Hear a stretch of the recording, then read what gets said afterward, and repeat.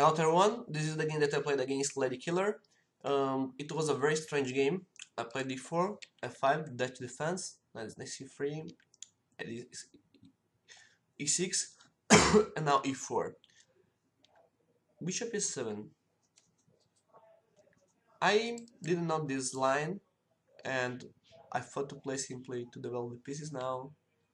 So I played knight f3, knight f6, and now I think e5 is a good move because I'm attacking the knight, knight knight does not squares, after knight e5 I can simply trade and I have easy development, so no problem for white. Bishop d3, castle, and castle. d6, logical move to try to remove the weakness, the double pawns in the d file. I played bishop e4 to take the square e5. I I say okay, we can remove your weakness, but I will take the square e5 that in this position is very important because the square is weak, so it's a very important square in this position e5. Knight c6, c3, g5. I don't like it because uh, uh, the black doesn't take nothing after this move and it weakens uh, his castle so g5 is a mistake and I simply take on d6 first.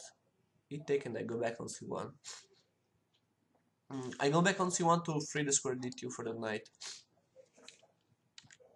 g4 oh sorry. Yeah not in this case to free the square but only to have the bishop free when he push is important for me. I have this bishop free in this position. Okay g4 91 yeah I played down 91 and not 92 because 92 could be another choice but uh, 91 is better because uh, after that I can go on c2 on e3 so I can replace my knight in a good position easily especially because d5 is an important weakness. So bishop g5 and now knight c2 a5 I don't like it because I don't understand why he played this move. Um, knight b4 is not a threat, so I don't understand it. f3. Uh, f3 I think is very important because his attack I think is very strange, is bad now. Few pieces is attacking. I have more pieces in the king side. So now I open the position with the 3 because for me it's better find a counter attack now in the king side because I have more pieces. So b6, f after g4. If you take, there is rook takes f8 and he has to take with the king. So f4, queen f3. Easy move. I attack f5. I attack d5. At the same time, I can I can threaten it. 97 and now g3 the pawn is pinned. The bishop is without a defender so I remove this pawn f4 that could be dangerous. And now g takes f4 bishop b7 okay I can't take now the bishop because the queen is in the same file of the rook so the pawn now is pinned. But I can play first queen h3 mate and after knight g6 I take it and I take it. Rook takes f1. And now I play the king takes f1 and check.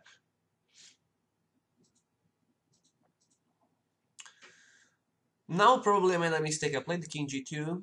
I didn't see queen b5. It's very nice. And in this position I didn't see queen e3 that can help me to defend easily the position because after queen f1 check I can play king g3 and when I want I can remove the bishop because the knight the knight is defending the rook. I didn't see it in the game and I played king g3 it's okay I'm better but I give some chance of black now. Queen e2 bishop f4 I give back the knight. Queen takes rook e1 and now bishop a6 rook e7 I play to mate on h7 check and bishop e3, rook f7, rook e8, rook f8. I was not sure about the trade on f8 because this endgame with queens is very hard to win, so I played this move. And after bishop c8, I thought to play in the same way. And I and I choose it to trade because I didn't see other option for me, and I played the check. Now I can take the bishop because if I take the bishop, black will take my bishop, and this is broad because there is the perpetual check. I played queen f6,